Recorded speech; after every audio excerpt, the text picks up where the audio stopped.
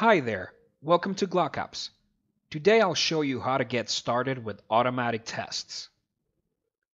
With GlockApps Inbox Insight automatic testing tool, you can automate email deliverability testing and see how your inbox rate and spam rate change over time. This is an ideal tool to keep track of your recurring campaigns and transactional emails. An automatic test will resend the same message to the seed list at a chosen interval and provide you with a deliverability report. In addition to that, our tool can send alerts to you via email, Slack, or Telegram when an automatic test detects spam placements with any of the chosen seed email addresses. To set up an automatic test, go to Inbox Insight and click on Automatic Tests. Then click Create Automatic Tests. To set up an automatic test, you must first set up a sending account that will be used for that test. So click on Add Sending Account and start completing the form. First, enter an account name.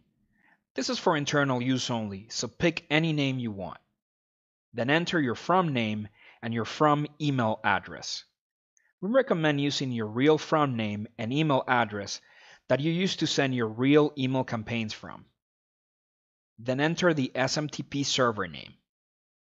If you're using an email service provider, you can check your email service provider's documentation for SMTP settings. If you're sending emails using your own SMTP server, ask your server administrator about the correct SMTP server name. If you're using the Gmail or Google Workspace SMTP server, you can find the SMTP settings in the Google documentation. For a Gmail account, you can use smtp.gmail.com as the SMTP server name. You can use port 587 and the security protocol start TLS. For your convenience, I've shared this information in the video description below. The SMTP username is typically your full email address, and the SMTP password is typically your regular password from your email address. Google may not allow you to connect to the server using your regular password though. If this happens, you'll see a failed authentication message. In such case, go to your Gmail account and set up an app password for your account. Then use that app password in your GlockApp settings for the sending account.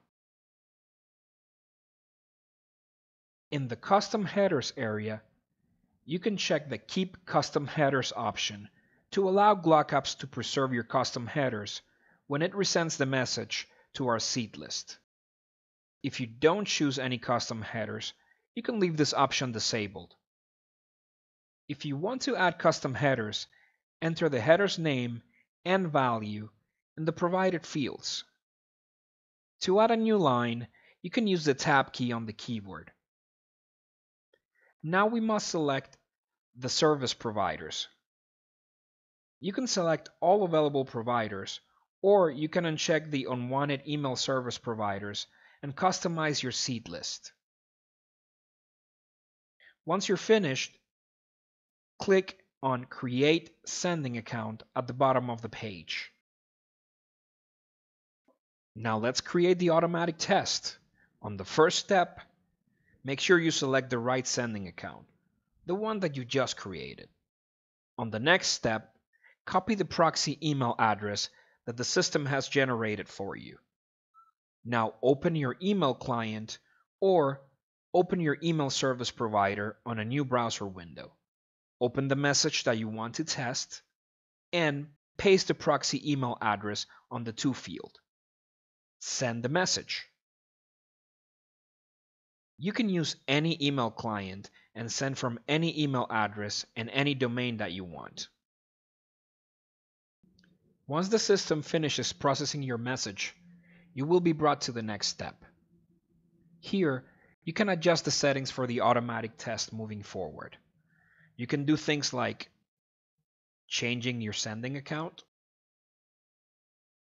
You can also select the monitor time interval to trigger the automatic tests. The minimum interval is 3 hours. the maximum interval, it's 7 days. You can also change the time interval for alerts here. The default interval is 50 minutes, but you can increase this interval if your email service provider or SMTP server doesn't send the emails immediately. This is because some providers place your emails in a queue and sends them with a delay. If you want to receive alerts when your email goes to spam, check the Send me alert on Deliver Issues option. And again, remember you can customize your seed list for this automatic test. You can uncheck unwanted email addresses and leave only the ones that you want to test your message with. Once you're finished, click on Save and Activate at the bottom of the page. Your new automatic test will be triggered immediately. You only have to wait a few seconds to get your first report. Once your score starts to populate, click on the message subject line to see the full report. As you can see, the report is now loading in real time. The automatic test report provides the same data as your regular Inbox Insight spam test reports. In addition, you will be able to monitor your 30-day test history to understand how your inbox rate and spam score have changed over time. Now that the report has finished loading, you can access the Content Analysis tab and the Action Steps tab for insights into how to improve your score. You can also click on the icons at the top of the report. This will allow you to get your seed lists, view the message content, or to share the report with others. Now I'll go back to the automatic tests list if you click on this dotted icon to the right of the test, you have the options to edit the test, delete the test, or simply deactivate it. In your Inbox Insight account, you can set up as many automatic tests as your subscription plan allows. You can delete existing tests and set up new ones, as long as you stay within your account limits. And that's all I have for today. Thank you for using GlockApps.